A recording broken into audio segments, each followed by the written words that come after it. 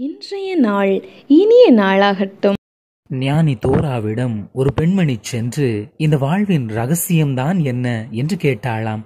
அதற்கு ஞானி இவ்வாறு சொன்னாராம். வாழ்க்கை என்பது ஒரு மூடப்பட்ட இரும்பு பெட்டி. வாழ்க்கையின் ரகசியம் என்பது அந்த பெட்டியினுடைய சாவி. ஆனால் அந்த சாவியோ அந்த இரும்பு பெட்டிக்குள் தான் வைத்து பூட்டப்பட்டுள்ளது. பெட்டியை திறப்பதுதான் உன் சாமர்த்தியம் என்றாராம். பெட்டியை எவ்வாறு திறக்கப் போகிறோம்? அன்பின் பதிவிற்கான மணியை அழுத்துங்கள் அன்பாய் வாழுவோம்.